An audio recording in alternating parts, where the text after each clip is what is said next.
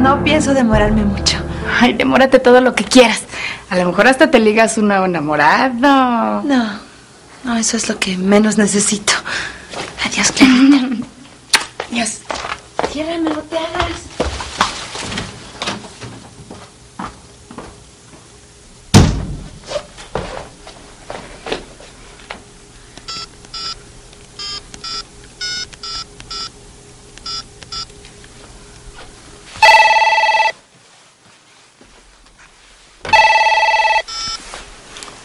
Bueno, ¿Cómo estás, güerito? Soy yo.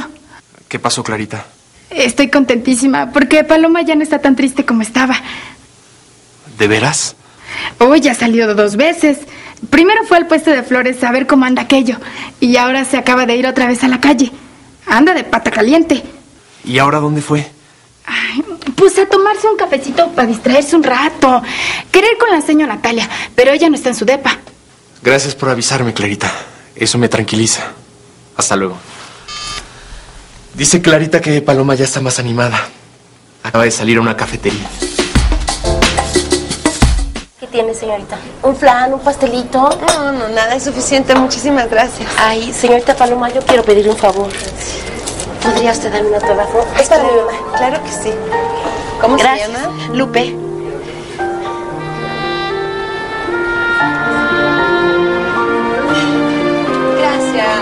Muchas gracias. Con permiso.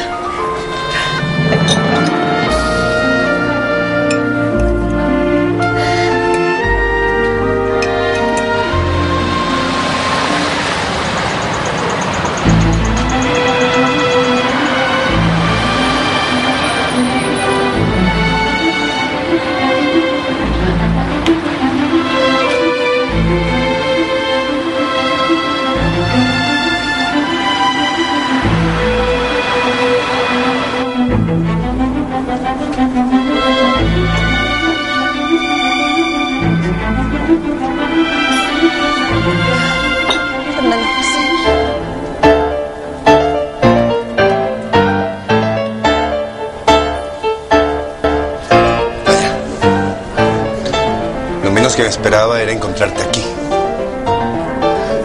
¿Esperas a alguien? No, a nadie. ¿Puedo sentarme entonces? Sí, claro. Aunque no tenía programado este encuentro, puedo dedicarte unos minutos. Tal parece que me hicieras un favor. Es que desde que no nos vemos has dejado de ser gentil. Desde que no nos vemos he dejado de ser muchas cosas. Entre ellas, un hombre soltero. Me sorprendió tu matrimonio. A mí tu viaje sin despedirte. De un viaje se regresa. A veces. Hubieras esperado saber por qué me fui de repente, ¿no? Pudiste decírmelo antes de irte. Es verdad, ahí estuvo el error. Estoy dispuesto a oírte si quieres, Paloma. ¿Ya para qué? ¿Ya para qué, no? Tienes razón. Por mucho que trates de justificarte, será inútil. Lo sé. Me dijo Gerardo que fuiste a buscarme al restaurante. Sí, todavía no sabía que te habías casado.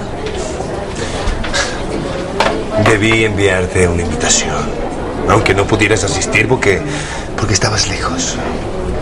No podemos prescindir de las ironías, Fernando José. Estabas fuera de México con Alex Dorantes, disfrutando su compañía y, y de tu éxito como cantante. Por favor, es que tenemos que irnos mutuamente. ¿Qué te podía importar mi sufrimiento? Tú escogiste. Lo preferiste a él, te fuiste con él. No vamos a analizar de quién es la culpa. Quizás sea mía. Está bien, está bien, lo acepto. Pero ahora cada quien debe hacer su vida de la mejor manera posible. Ya Gerardo me transmitió tu mensaje de felicitación. Tampoco te importó que deseas que sea feliz al lado de otra mujer. ¿Estás casado con ella, Fernando José? Es tu esposa. Pudiste hacerlo tú. Yo dejé el departamento, hasta me separé de mi hija por ti. No lo recuerdes, por favor. Pero te pareció poco. Te pareció poco, mi amor, y me dejaste solo. Pero claro, verte convertida en el centro de atracción de miles de personas, despertar la admiración, deslumbrar a todos con tu belleza, oír los aplausos del público. Eso, eso es lo más grande para ti en el mundo. Por favor, Fernando José, por favor, te lo pido. Yo también, yo también sé lo que es la fama. El triunfo, los aplausos. Pero eso no me embriaga como a ti. Ni llena mi vida. Siempre hubiera puesto nuestro amor por encima del todo. Jamás, escúchalo bien, jamás lo hubiera sacrificado. No, no recibiste mi telegrama.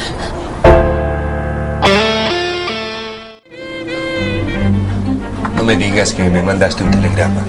Lo hice, Fernando José. ¿De veras? ¿No me crees? Por supuesto que no. Debes haber estado muy ocupada con Alex Dorantes, con tus presentaciones. Demasiado ocupada como para acordarte de mí. Tienes razón, Paloma. ¿Para qué herirnos?